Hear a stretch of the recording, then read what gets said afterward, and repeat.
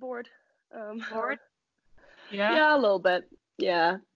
It's uh, it's really hard to sort of keep up a routine, and um, I I study as well, um, and so I have to watch all my lectures online, force Yeah. myself to sit down and stay focused. I do too. It's terrible, isn't it? I mean, at least to me, I'm like, oh, I can't. Seven hours of, you know. But yeah, no, exactly.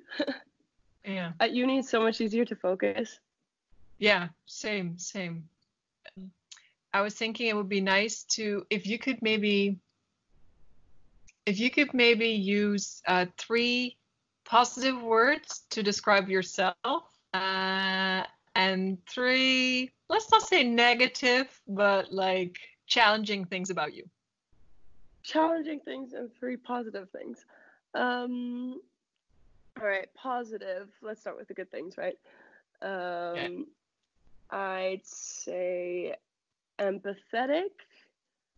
Um, maybe enthusiastic and generally optimistic. Mhm. um, and challenges uh, probably a bit of an overthinker, Mm. um, very easily distracted, um, and probably something. I mean, it relates to the overthinking as well, but uh, getting stressed out easily. Mm. Mm. So how is that for the uh, the um, let's say optimistic overthinker? How are these times? Um, I think. I mean, optimistically speaking, I think it's very um, heartwarming to see um, now that people have finally, you know, made a turn towards trying to protect others and staying inside, and um, how much enthusiasm there is for, you know, staying active and staying in contact.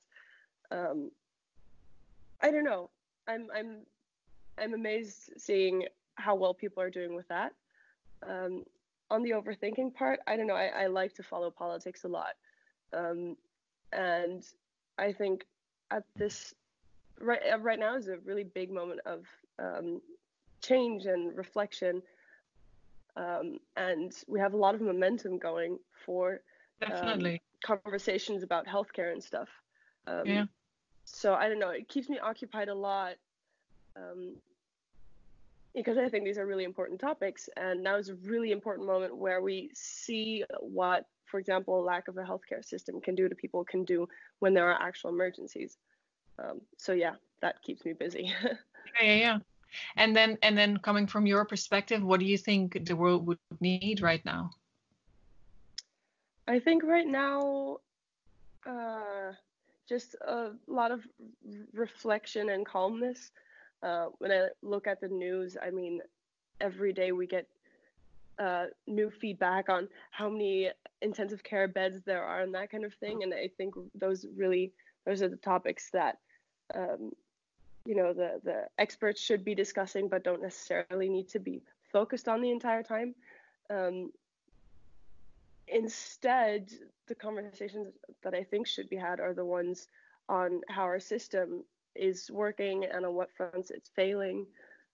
I mean, that's that, that's a cool kind of opportunity that might, you know, bring up new ways of looking at a social healthcare system or uh, looking at um, at income for freelancers or artists, or you know, there's a different way of looking at what a society needs right now.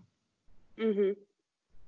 Mm, Yeah, mhm. I, I- I think there are really interesting conversations to be had, especially when you mention freelancers and artists, because um, clearly they've been hit the hardest by uh, by all these measures that people have to stay inside and stuff. Um, and I've heard, like at least with the people that I've had conversations with about, there have been a lot of mentions of things like a basic income um, yeah. more support for the arts and things. And is that because you said so? Some in the beginning you said like, "Oh, I'm so bored." Is that maybe something that you could uh, use this kind of feeling of, "Oh, this might be a momentum," or we could change something to? Uh, I mean, I don't know. You say you're interested in politics. This could be, you know, mm-hmm. a moment to organize I, uh, yourself. I I think right now is the moment to have discussions to Yeah. reflect and to Yeah. focus on the future. I don't think with the, the focus is just so much on um, everyone's health and getting through these times that it's really nice that people are uniting and uh, coming together. But for change, the focus does need to lie on the future a bit more. Um, making but making sure that we you know use these conversations and use the ideas and uh, that we have from these times um, and push them forward. It's very interesting to see though how united people are right now. I'm pretty like positively surprised.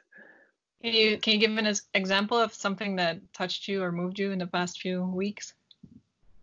Um, oh well, um, apparently one of the um, I don't know. It's it's uh, think it's like a horn or a tuba or something. Uh, there's a, a tuba player uh, in our building, and every evening at 6 p.m. he stands on his balcony and he plays uh, Ode aan die Freude and Geef mij maar Amsterdam. So you know, very emotional song. And the entire building stands on their balconies and in their windows and listens just to this one person playing, and it's so connecting. Um, in a building where people don't really know each other. Yeah, that's beautiful. So suddenly you see these sort of, I don't know, groups of people uniting and working together and stuff, and it's Yeah.